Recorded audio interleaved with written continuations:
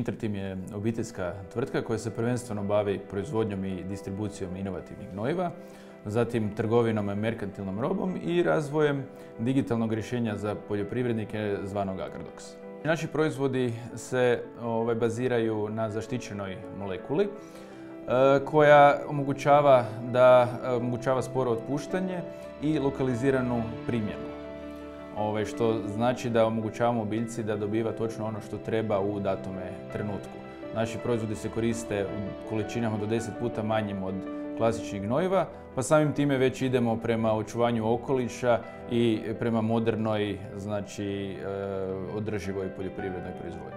Inovacije se e, najviše radile oko strojeva, e, a nije se radilo na nekoj kvaliteti, odnosno poboljšanju kvalitete prehrambenih proizvoda i to kroz onaj dio koji je najvažniji, znači kroz samu ishranu bilja. Tu smo vidjeli veliku mogućnost e, za e, napredak i za razvoj naših proizvoda. Tu smo razvili e, veliku paletu inovativnih gnojiva, od kojih bi izdvojio naravno naše mikrogranule za lokaliziranu primjenu, te široku paletu tekućih gnojiva za folijarnu primjenu i fertirigaciju.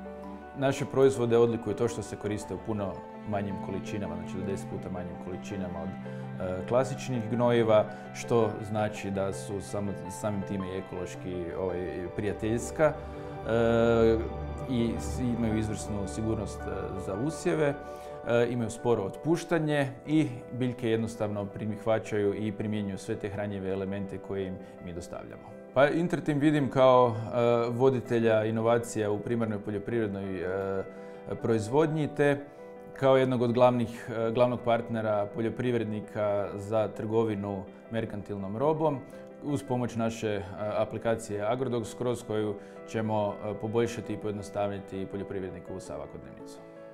Pa u današnje vrijeme ovaj, imati neku ideju, jednu ideju ili proizvod više nije dovoljno. Bitno je konstantno se nadograđivati i razvijati, pratiti, ajmo reći, neke svjetske trendove i uz jaku želju za uspjehom, a sve to objediniti kroz, kroz veliku upornost.